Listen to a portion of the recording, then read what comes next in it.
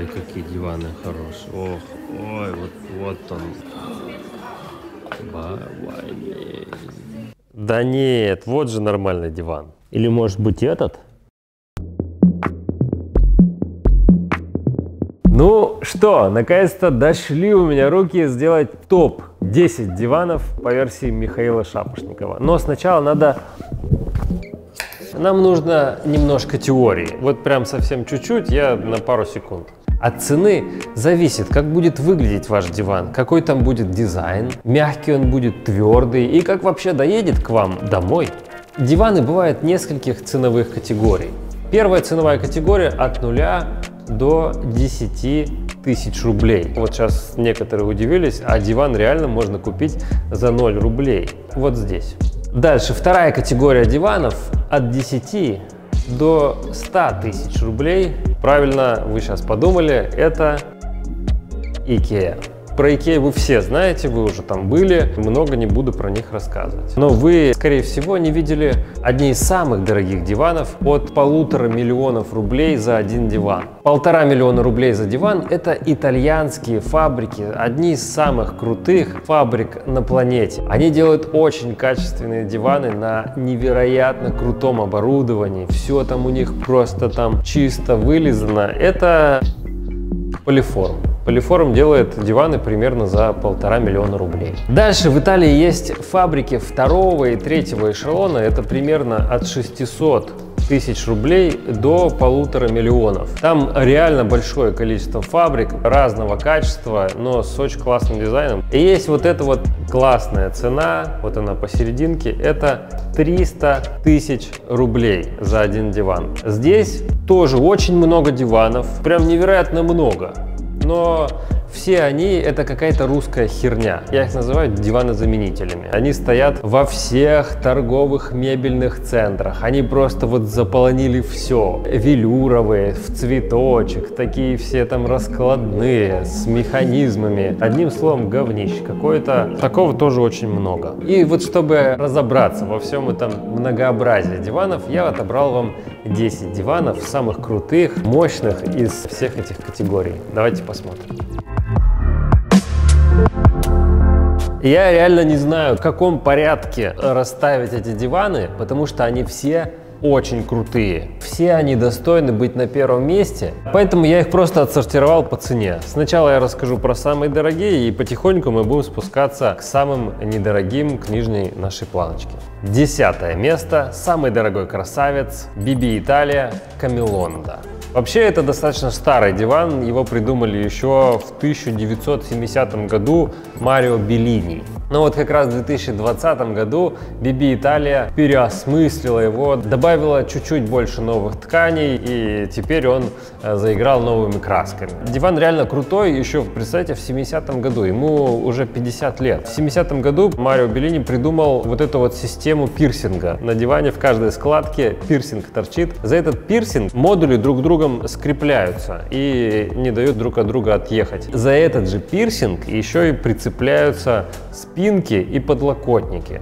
Это вот такая вот модульная система, ну, из которой можно сделать что угодно вообще. Можно сделать себе топчан квадратный, а можно его же пересобрать в какой-то более угловатый диван. Для того, чтобы отсортировать по цене, я все диваны сделал примерно в одной конфигурации. Все эти диваны, они модульные. Очень сложно как-то вообще цену вам говорить, потому что чуть модуль добавил, цена плюс там 500 тысяч рублей. А чуть ткань выбрал другую, цена опять изменилась. У всех диванов будут примерно одинаковые модули примерно одинаковой длины. Вот этот вот диванчик я насобирал на 384 сантиметра в длину и 162 сантиметра по угловой части. Вышел такой диванчик на 15 200 евро. Сейчас по курсу текущему это миллион четыреста тысяч рублей. Я вообще думал, что самым дорогим диванчиком будет какой-нибудь полиформ. И никак не думал, что это будет BB Италия, еще и Камелонда. Но вот это самый дорогой диванчик.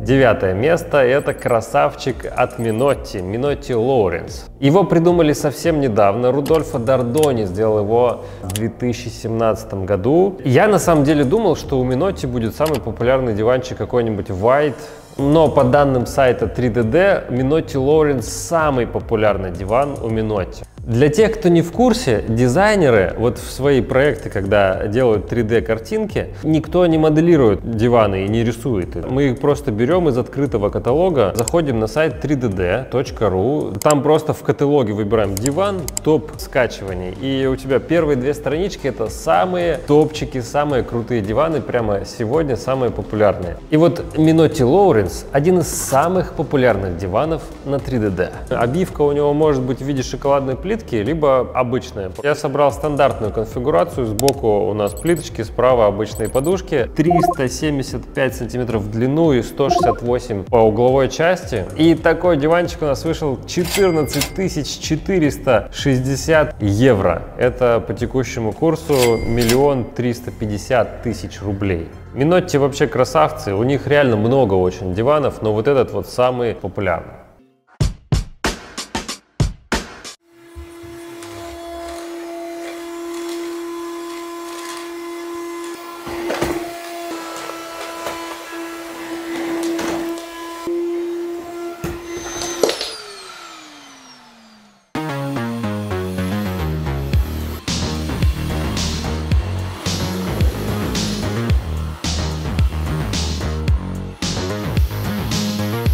Как же я рад, что вот это вот все уже в прошлом. Все эти пылесосы с проводами, со шлангами. Я с детства ненавижу пылесосить из-за этого. Сейчас все свои проекты мы комплектуем беспроводным пылесосом на аккумулятором Dyson. Последняя модель у них сейчас Dyson V11. Это прям самый вот топчик. Он вообще невероятно удобный, он просто висит на стене и сам заряжается. Это очень удобно, если вы спроектировали помещение прям заранее, и вы знаете, где можно будет розетку спрятать, чтобы провод не мешался. Но если у вас квартира уже готовая, и вам нужно куда-то спрятать этот провод, в комплекте с этим пылесосом есть стойка прям напольная, по которой можно спустить вот этот провод вниз и дальше по плинтусу куда-то увести. Очень удобно, вот у меня вот дома конкретно такая штука стоит. Он реально очень мощный, он никак не уступает проводным пылесосам. И у него есть два аккумулятора в комплекте. Если у вас огромный дом, можно повесить на каждом этаже по аккумулятору. Ну вот у меня квартира 100 квадратных метров, и там хватает одного аккумулятора, и мы второй еще ни разу не доставали. У него куча насадок на все случаи жизни. Я специально смотрел такой пылесос, чтобы можно было пылесосить под рейками, потому что мы там оставляем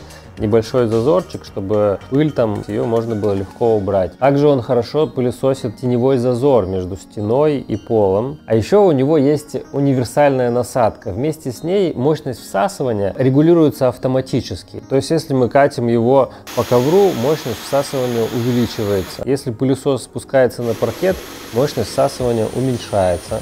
Вообще это 21 век какой-то. У меня вот реально такой дома стоит, все очень довольны, всем советую и вам тоже рекомендую. И если кому нужно, ссылочку на этот пылесос я оставлю в описании. Восьмое место. Это единственный диван, который можно посмотреть в Москве. Пойдемте посмотрим его вживую. I get it how I live it. I live it how I get it. Come the motherfucking digits. I pull it with a lemon. Nigga, she ain't living. It's just your eyes get acidic. And this ain't a scrimmage. Вот, вот этот диван. У него есть много конфигураций спинки. Вот это вот двигающаяся спинка, ее можно переставлять как хочешь, она вот прям вот двигается максимально. И она вообще не ездит, то есть ты падаешь на нее, она не отталкивается. Частая проблема, что спинка просто съезжает, тут такой проблемы нет. Это полиформ Westside. Его спроектировал Жан-Мари Массо. И начали его продавать примерно полгода назад, буквально это вот новиночка прошлого года. И в нашей конфигурации он стоит, ну как в нашей конфигурации, у него очень много разных модулей, у него разные спинки. Вот есть, например, такой, как шезлонг спинка, есть передвижная спинка, обычная спинка. Очень разные. На самом деле не очень правильно сравнивать вот эту вот конфигурацию, потому что они реально разные. Ну вот я примерно собрал конфигурацию нашего размера. Примерно по длине он 3 метра 80 сантиметров и 150 сантиметров длинная часть под ноги. Передвижной спинкой, чтобы было прям удобно настроить под себя и под телевизор. И один подлокотник будет у нас кожаный. Кожаный подлокотник это просто кайфовый.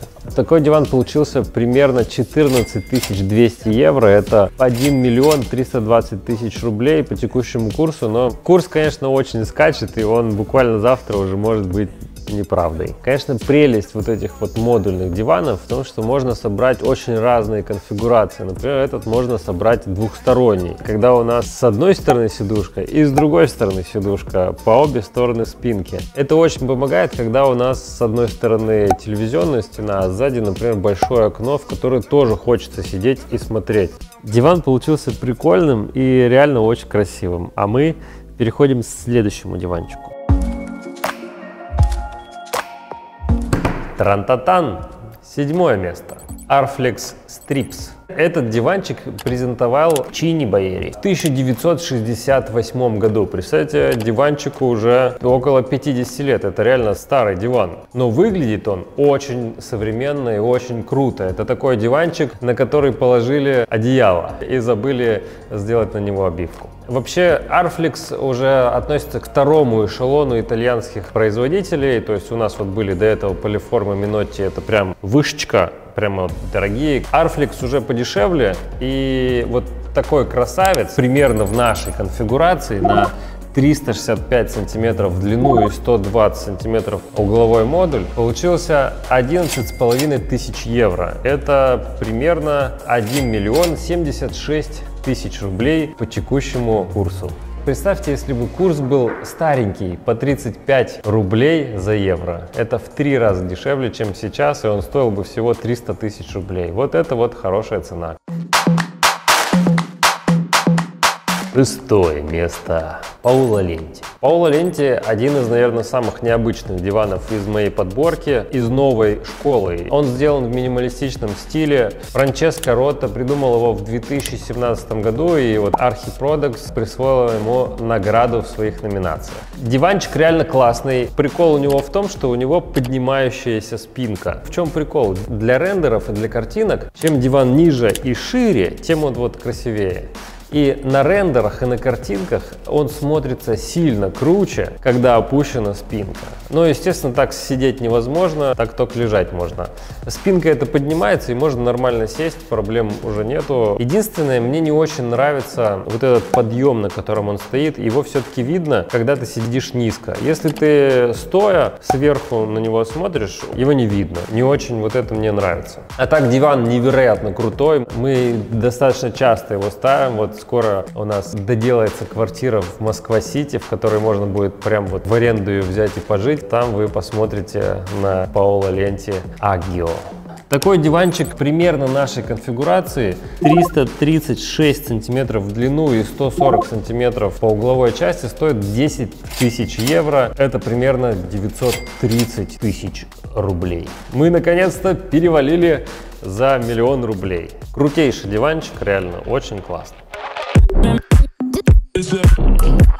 Итак, мы наконец-то подходим уже к серединке. Итальянский диван Lema Cloud. Вообще этот дизайн не новинка. И практически у каждого производителя мебели итальянского есть примерно похожий дизайн. Одни из первых вообще дизайнов таких придумали в Arflex. Была у них Michario System. Еще в 68 году они представили этот диван. И так, в принципе, у каждого производителя есть похожий вот диван. Вот я сейчас тут вот натыкаю. Этот немножко отличается вообще от всех. У него есть вот такой вот модуль. Это не подушка, это такой подлокотничек. Подлокотник этот может быть мягкий, а может быть еще и с деревяшечкой, и там можно будет кофе ставить, не знаю, сидеть, кушать. Единственное, что у них так много конфигураций, и он получился меньше всех. В длину 328 сантиметров, а угловой модуль 163 сантиметра. В нашей средней вот конфигурации, которую мы посчитали, он стоит 8000 евро или 730 29 тысяч рублей примерно по текущему курсу. Этот диван не из дорогих, он сделан достаточно по простой технологии, я его разбирал, смотрел. Тут нет никакого пуха внутри, но он все равно очень мягкий, теплый такой, приятно в него садиться. Мне прям вот сидеть здесь очень кайф. Итак, дальше мы все спускаемся ниже и ниже по цене, но диваны от этого хуже не становятся. Они в любом случае очень крутые. Еще раз говорю, если диван на первом месте, не значит, что он самый крутой или самый плохой. Просто он дешевле. И все. А так они все очень крутые, я бы поставил их все на первое место с удовольствием. Четвертое место BB Italia Tufty Time. Первый раз этот диван представила Патрисия Уркова в 2005 году. И потом еще несколько раз его обновлял сам BB Italia. Мне больше всего нравится самая первая версия 2005 года. Она такая более пухленькая. Мы поставили его в один из проектов. Сейчас покажу картинки. Но мне не нравится у него спинка. Она прикольная, но мне не нравится. Есть похожий диван Caligaris Epsilon. Он примерно такого же формата, но он очень плоский. Ну вот прям вообще вот совсем не дутый он. Но у него очень красивые, реально крутые спинки. Выглядят они классно. Поэтому мы взяли и совместили Tafty Time и Epsilon. Получился Tafty Epsilon. Такое надувное пузатенькое сиденье и классная спинка сверху. В нашей стандартной конфигурации такой диванчик выходит 368 сантиметров в длину и 150 сантиметров угловой модуль. Выходит это примерно в 7300 евро или 679 тысяч рублей.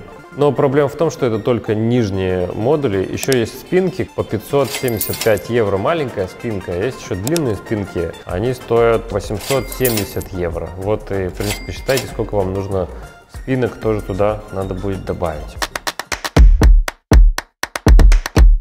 Ну что, барабанная дробь. Мы подошли к тройке самых крутых диванов с хорошим ценником. Третье место – Gunrax Mangas. Компания Gunrax вообще производит ковры. Rax по-английски это ковер. В 2013 году Патрисия Уркула, опять же, да, вот она у нас была уже, сделала из ковра диван. Диван очень похож на Лема Cloud, есть что-то у него схожее, но у него вся обивка это ковер. Ковер из стопроцентной шерсти и сидеть, конечно же, попой голенькой на нем не супер приятно. Если сидим в штанах, джинсах и так далее, нормально. И еще у него есть небольшая проблемка, он модульный, да, но все модули только одного размера. Вот есть один размер, делать что с ними хочешь. В нашей конфигурации он получился 270 сантиметров по длинной части и 210 по короткой. По цене такие модули выходят 7800 евро. Это примерно 714 тысяч по текущему курсу. Мы уже подходим к таким супер вкусным и классным ценам. И впереди еще два классных дивана и два места. Номер два. Бока Томми. Дизайн этого дивана сделал я. Это такая моя версия идеального дивана. Просто в каком-то диване не нравилась спинка, в каком-то диване не нравились размеры, в каком-то диване не нравились ножки и так далее. Много всего. Вот вроде классный диван, но вот если бы чуть-чуть поменять, было бы классно. Короче говоря, взял и сделал свой идеальный диван. Вот он по версии меня в 2020 году. Это для меня идеальный диван. Он очень крутой. Делал его реально с любовью. Вот реально для себя, чтобы поставить ставить вот в наши проекты. В несколько проектов мы уже ставили, и еще до этого момента его не, нельзя было нигде купить, и ставили мы его только себе, потому что разрабатывали достаточно долго. Сейчас мы его наконец-то доразрабатывали, сделали фишка у этого дивана в том, что у него спинка двигается. Ее можно просто поставить, убрать, передвинуть, подвинуть, наклонить и так далее. Спроектирован он так, что если ты на нем сидишь и прям можешь даже тащить спинку назад, никуда она с дивана дивана не денется. Она намертво вообще вцепляется в диван и стоит на месте. Достаточно тяжелая, чтобы так делать. Она весит 20 килограмм, только одна самая маленькая спинка. Это реально крутой диван, он очень мне нравится. Конечно, я, это же я его сделал. И стоит такой диван примерно в нашей конфигурации 6466 евро. Это примерно 592 тысячи рублей. Это сильно дешевле, чем мы смотрели до этого в Италии, ну, потому что просто у итальянцев э, евро подскочил, а у нас, у россиян, рубль упал. Но от этого диваны там не стали хуже, и этот диван не стал от этого лучше. Они все крутые, просто вот он немножко дешевле. Первое место. Первое место – это, наверное, самый популярный диван у нас – это Boca Navi. Примерно похожего дизайна диваны есть практически у каждого производителя. У нас это все равно своя измененная версия. У этих диванов мне много чего не нравилось. Вот, например, Банальда, он на картинках выглядит вроде классно, а вживую выглядит вот так. Да, это такой вот э, бесформенный пельмень, он прям вот так вот разваливается. Ну вот, э, что-то мне вживую он не понравился. Поэтому мы сделали свою интерпретацию диванов. Фишка в том, что у него есть асимметричная спинка, она может быть на пол модуля. Сама высота, глубина и мягкость подобрана так, что вы просто офигеете от этого кайфа, насколько он мягкий и классный. Многие смотрят на картинках и думают, что этот диван неудобный, что у него низкая спинка и там неудобно сидеть, но просто не понимаете, что здесь все продумано мы сидим вот на этой вот подушке. У тебя есть и подголовник, и поддержка шеи, все классно, нет вообще никаких проблем. И она как раз и делает вот этот вот всю посадку супер мягкой, удобной и такой вот разваленной. В нашей конфигурации он вышел в 3261 евро. Это около 299 тысяч рублей. А если там выбрать меньше конфигурацию, он еще будет стоить дешевле. Ну, в общем-то и все. На самом деле диванов сильно больше, чем я вам перечислил. Это вот мой такой топ 10 диванов самых популярных, которым можно украсить любой современный интерьер, любую современную квартиру этот диван подарит вам невероятно крутые эмоции. Пишите, какой топ еще вам сделать. Я вот уже сделал топ смесителей, вот сейчас сделал топ диванов. Пишите, что вам еще сделать, там топ э, столов, там, не знаю, кресел. Какой топ сделать вам, пишите в комментариях и ставьте лайк, если понравилось. Пока-пока. В одном из последних видео мы разыгрывали вот такую вот маечку. Ты же дизайнер. Вот этот вот комментарий победил, пишите моей помощнице вот сюда вот. Она с вами свяжется и отправит такую маечку. Поздравляю!